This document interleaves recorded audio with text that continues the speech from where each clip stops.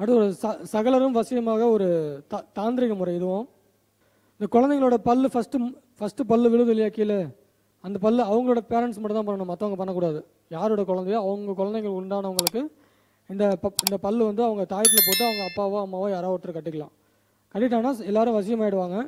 Plus வந்து அந்த குழந்தை வந்து கடைசி வரைக்கும் அவங்க அப்பா அம்மா சொல்படி கேட்டுகிட்டே இருக்கும். இதில் இந்த குழந்தையோட முதல் பல் கீழே விழும்போது அந்த பல்லை எடுத்து வெள்ளி தாயத்தில் போட்டு அப்பாவோ அம்மாவோ யாரோ ஒருத்தர் கட்டிக்கிட்டாங்கன்னா அப்- அப்படின்னா அவங்களுக்கு சர்வ ஜன வசியம் உண்டாகும் சகல வசியம் இருக்கும்.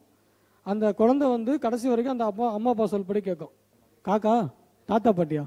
தாத்தா பாட்டி? தாத்தா பாட்டி அம்மா அப்பா மட்டும்தான். இவங்களுக்கு பேரன் இருக்கணும். குருஜி ஒரு நிமிஷம். இப்ப மூணு குழந்தை இருக்குன்னா அந்த மூணு குழந்தையும் விழுந்தா நம்ம எடுத்து வச்சு எடுத்துக்கலாம். எடுத்துக்கலாம். ஒரே தாயத்துல மூணுத்தையும் அடைக்கலாமா? அடைக்கலாம். நன்றி. பல்லு திருப்பி முளைக்குமா அந்த குழந்தைக்கு? இல்ல நம்ம எடுத்து தாயத்துல வேற அடைச்சிடுறோமே அதான் இல்லை கேட்கறேன். அதுதான் நீங்கள் அடுத்தவங்களுக்கு தான் அது கொடுக்கக்கூடாது. நீங்கள் வச்சுக்கலாம். சரி நன்றி. உங்கள் குழந்தை உங்கள் சொல்படி கேட்கறதுக்கு நீங்கள் அதை யூஸ் பண்ணிக்கலாம்.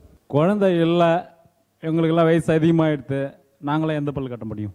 இப்போ எனக்கு ஐம்பத்தி ஒரு வயசு ஆயிடுது என். பிள்ளைக்கே வந்து இருபத்தி ரெண்டு வயசு ஆகுது நான் எந்த பல்லு கட்டணும் அதுக்கு ஒரு என்ன சொல்றேன்னா இது வந்து ஆயிரம் வித்தைகள்ல இது ஒரு வித்தை. வசதி இல்ல, ஒரு சந்தேகம் நான் கேக்குறேன். பயன்படுத்திக்கலாம். இல்ல இல்ல இல்லாதவங்களுக்கு வேற இருக்கு. நீங்க பல்லே தான் கட்டணுன்ற அவசியம் இல்லையே. நான் ஆயிரம் வித்தை கொடுத்துருக்கேன். இந்த ஆயிரம் வித்தையில இது ஒரு வித்தை. இது இருக்கிற முய- இருக்கிறவங்க அதை பயன்படுத்திக்கிறாங்க. பல்லுலவும் பக்கோடா சாப்பிட்றான். சரி அது இப்போ எங்களுக்கு ஒன்று சொல்லுங்க. வேற சொல்றேன் அடுத்து சொல்றேன். அவ்வளவுதான்? நீங்க நரிப்பல்லு சிங்கப்பல்லு மாதிரி கழுத்துல போட்டுங்க. பிரச்சனை இல்லை. கட்டலாமா மாதிரி? கட்டிக்கலாம் கட்டிக்கலாம். அதெல்லாம் கட்டினா கட்டாதீங்க. கவர்மெண்ட் ஃபாரஸ்ட் பிடிச்சிடும் ஓகே இந்த பக்கம் வந்துருங்க.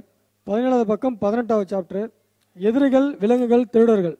இவங்கள்ட்ட வந்து பிரச்சனை வராமல் இருக்கிறதுக்கு இவங்களுக்கு பாதுகாப்பாக இருக்கிறதுக்கு நம்மளோட பொருட்கள் வியாபார ஸ்தலத்தில் உள்ளவங்களாம் பொருள் கொள்ளை போகாமல் இருக்கிறதுக்கு எதிரிட்ட வந்து தப்பிச்சிக்கிறதுக்கு கோர்ட்டு கேஸ் பிரச்சனை எல்லாத்துக்குமே இந்த இதை நீங்கள் பயன்படுத்திக்கலாம். இது வந்து செவ்வாய் ஓரையில் பண்ணிக்கணும். செவ்வாய் ஓரை அதில் போல நோட் பண்ணிக்கங்க. செவ்வாய் ஓரை சுக்கிர ஓரை ரெண்டுலையுமே பயன்படுத்திக்கலாம். ஆயிலி நட்சத்திரம் நைட்டில் இந்த ஹோரை எப்போ வருதோ ஆயிலி நட்சத்திர டைமில் இந்த ஹோரை எப்போ வருதோ அந்த டைமில் பெருநெல்லி செடிக்கு காப்பு கட்டிக்கணும். பெருநெல்லி செடி காப்பு கட்டி கருப்பு பட்டு நூலில் கட்டி தாய்த்தா போட்டு நீங்கள் கழுத்தில் கட்டிட்டாலும் சரி இல்லை கையில் கட்டிட்டாலும் சரி இல்லை நீங்கள் பிஸ்னஸ் பண்ணுற இடத்துல வியாபாரம் பண்ணுற இடத்துல வச்சுட்டாலும் சரி. கிடைச்சா இதுக்கு இதுக்கு மந்திரம் கிடையாது.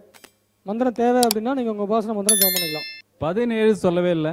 எது? பதினேழு தொப்புள் கொடி. அதான் தெளிவாக அதிலே போட்டிருக்கு அப்புறம் அதை சொல்லணுமா நான் அதுக்கு வந்து முதல் பிள்ளை தொப்புள் கொடி. ஆ. அது ரகசியம். ரகசியமாகவே இருக்கட்டும். ஓகே.